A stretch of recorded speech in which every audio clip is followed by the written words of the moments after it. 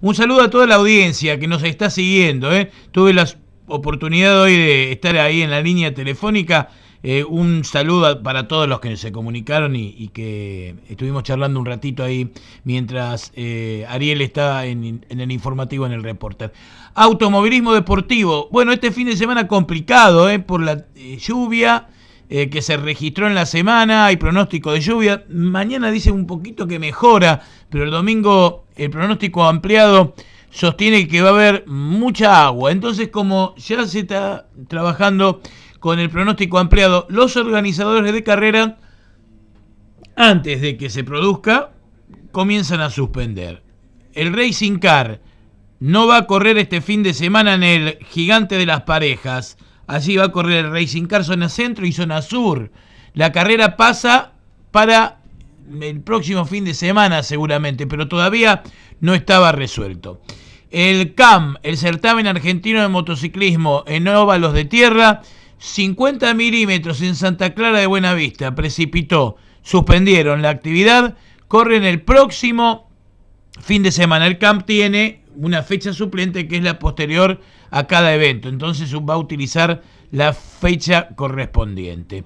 Estamos esperando también más información de otros puntos de la provincia o de la región donde hay actividad, pero eh, teniendo en cuenta estos dos datos que yo le doy, es casi seguro que no haya actividad zonal este fin de semana en tierra.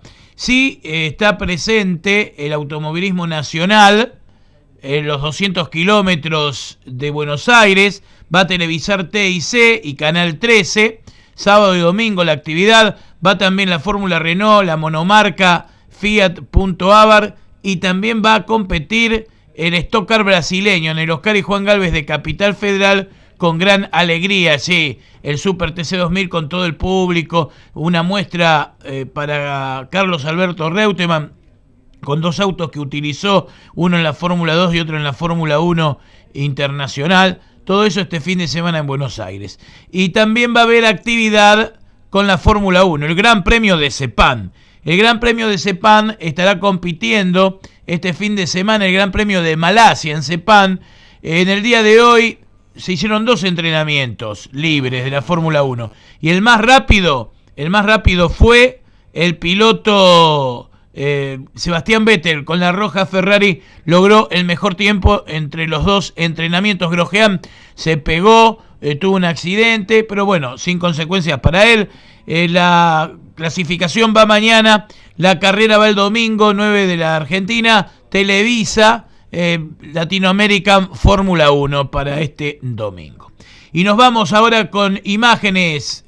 Romina, que hoy está allí en, en los controles eh, imágenes del car show, si las tenemos ahí cargadas, está hoy un poquito lenta internet, eh, le decimos, pero eh, tenemos un material para difundir de lo que tiene que ver con...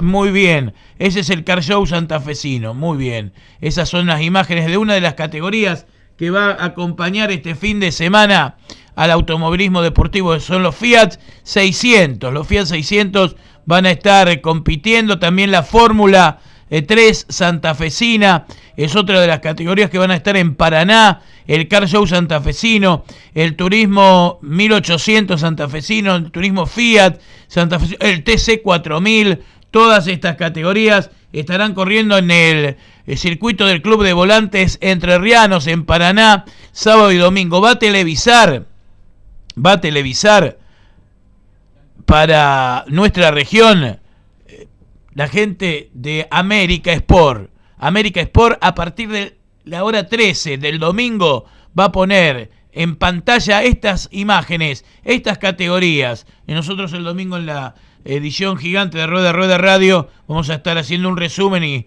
tomando la última parte de la transmisión de la gente de Acelerando con el Car Show santafesino. Estas son todas las competencias para este fin de semana. Le volvemos al piso, Romy, y les digo que el próximo viernes, el próximo viernes, yo le voy a hacer recordar esto el viernes que viene cuando hagamos nuestro micro, pero el próximo viernes están todos invitados en el espacio cultural Incadi. 10 de febrero 161, Capitán Bermúdez, se va a realizar una charla de automovilismo deportivo a cargo de Gustavo Gorosito, eh, integrante de Campeones del Volante, va a ser a las 19 horas en el espacio cultural Incadi, reitero, 10 de febrero 161 en Capitán Bermúdez. Luego de la charla se le va a rendir un homenaje a Campeones del Volante, programa en el cual participo desde hace más de 30 años.